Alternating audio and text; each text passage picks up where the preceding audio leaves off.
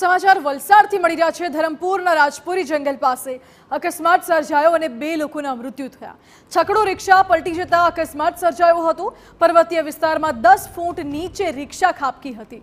છકડો રિક્ષામાં સવાર બે વ્યક્તિના મૃત્યુ થયાની જાણકારી મળી રહી છે. છકડો રિક્ષામાં સવાર અન્ય 10 લોકો ઈજાગ્રસ્ત થયા છે. જેમને સારવાર માટે ધરમપુર સ્ટેટ હોસ્પિટલમાં ખસેડવામાં આવ્યા છે. હાલમાં ઈજાગ્રસ્તોની સારવાર ચાલી રહી છે પરંતુ આ ગમખ્વાર અકસ્માતમાં બે લોકોનું મૃત્યુ નિપજ્યા છે. મહત્વનું છે કે કક્ષા દસ ફૂટ નીચે ખાબકી હતી અને દસ લોકો ઈજાગ્રસ્ત છે બે વ્યક્તિના મોત છે અંદાજે છકડો રિક્ષામાં બાર જેટલા લોકો સવાર હતા